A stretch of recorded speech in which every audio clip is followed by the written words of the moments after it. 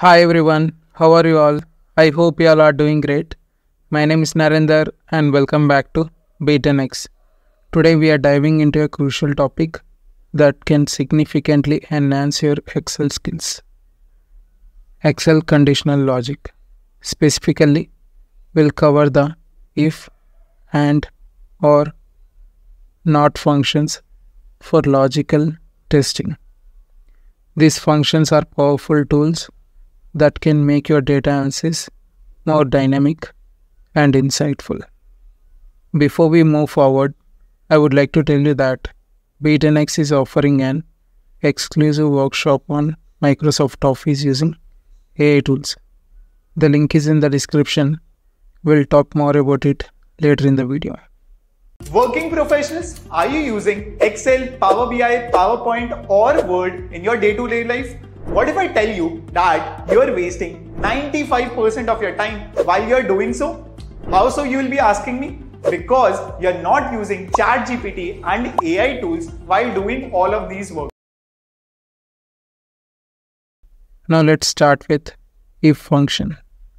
The if function allows you to make logical comparisons between a value and what you expect.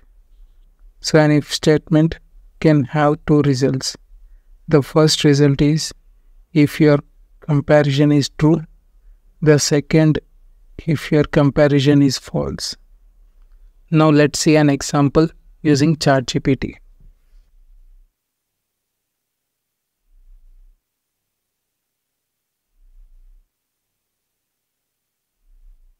As you can see, here is an example.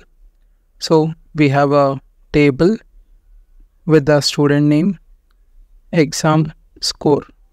So here we have pass or fail. So here is a if statement.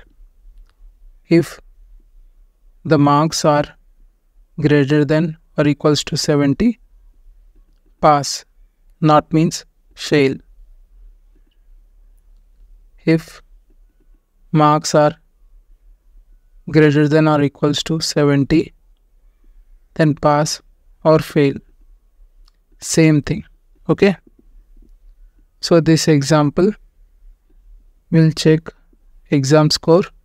In column b is greater than or equals to 70 if it is true the function returns pass. Otherwise it returns fail. So let's copy this thing and we'll see how it works. As you can see, I've copied the table here in our Excel sheet. So you can see Sarah got failed and Mitchell got failed. So their score is 45 and 60. So with our condition, if they get more than or equals to 70, then only they'll pass, not means they'll fail. Now, let's take a moment to talk about something important. AI is taking over the world in such a short span of time. We have seen so many layoffs, millions of jobs replaced by AI, and whatnot. You don't want to get affected by this recession wave, right? Well, AI won't replace you, but the person using AI will if you want to save your job and become irreplaceable in your career, join our 2 hour Microsoft Office using AI Tools workshop, in which we will teach you about the best AI tools top skill, increase your productivity, and enhance your career. Make your future secure with us. Join our workshop by clicking the link below in the description now. Alright, let's get back to our Excel conditional logic. Next, let's talk about the AND function. The AND function is used to check multiple conditions at the same time. All conditions must be true for AND to return true.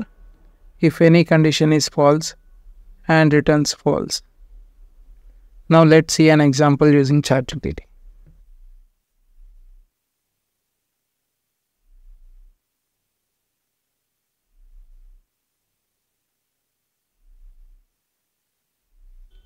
As you can see, we got the output So here's the same thing. Here we have a student name in our first column, then exam score. After that, we have attendance. So we are calculating performance.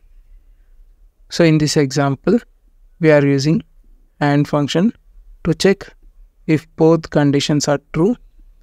If exam score in column B is greater than 80 and student attended all classes in column C. If both conditions are true, the function returns excellent. Otherwise, it returns good. Again, you can drag this formula down to apply it to multiple rows in Excel. So let's copy the table to our Excel sheet. As you can see, I've copied the table to our Excel sheet. So let's see the formula.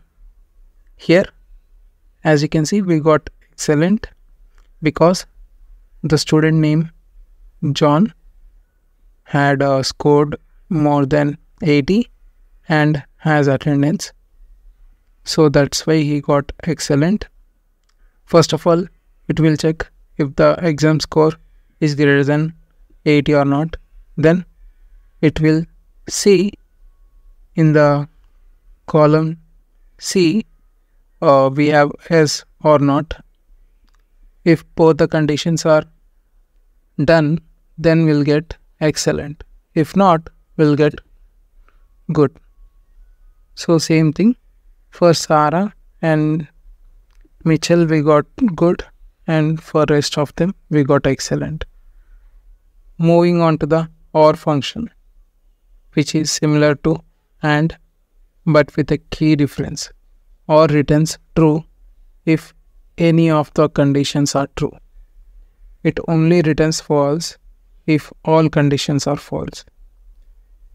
Now let's see an example using ChatGPT.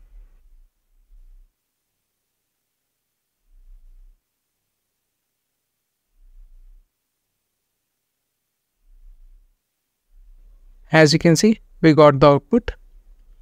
So here we have different table.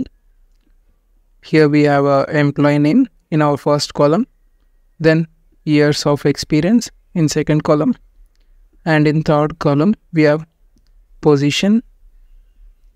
So here is a eligibility. So in this example, we are using OR function to check if either of the conditions is true. If the years of experience in column B is greater than 5 or the position in column C is manager. If either condition is true, the function returns eligible. Otherwise, it returns not eligible. So let's copy this table to our Excel sheet. As you can see, I've copied the table to our Excel sheet. So, for example, employee name is John and years of experience is 3 and the position you worked as associate and let's check the eligibility. So is not eligible. So uh, in any of these conditions one should be uh, true. So first condition is experience should be greater than 5 so it's not true in this scenario and uh, position should be manager. And this one is also not true. That's why we got not eligible. And now let's discuss the not function. The not function oversees the value of its argument.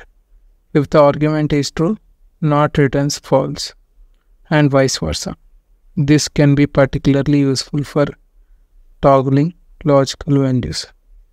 Now let's see an example using ChatGPT.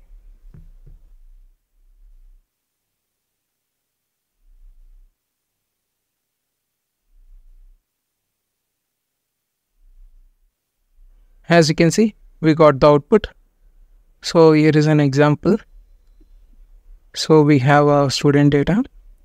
On first column, we have student name. And in second column, we have exam score and pass status in the last column. So in this example, we are using not function to check if the exam scores in column B is not greater than or equals to 70. If the score is not greater than or equals to 70, the function returns did not pass. Otherwise, it returns passed. So, the output we are getting is the same as we compare it with if function. Okay. Here we just used if function, but here along with if function, we are using not function. Okay. Now let's copy the table to our Excel sheet. As you can see, I have copied the table to our Excel sheet. For example, here you can see student name is John and he scored exam marks 75. So uh, basically the score should be greater than or equals to 70.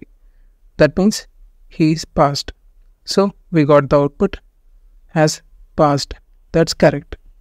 So here you can see here we are using not function and here is a condition. So the score should be greater than equal to 70 and so if we have used just if function we used to get this output. Did not pass. But here we are using not function. That's why we got output passed. Okay? And that's it for this video. To summarize the if and or and not functions are essential tools for logical testing in excel they help you create dynamic and conditional statements that make your data analysis more robust and insightful. If you found this video helpful, please do like, comment, share, and subscribe to our channel for more such informative videos. Also, do check out our workshop link in the description. We'll see you there. Thank you.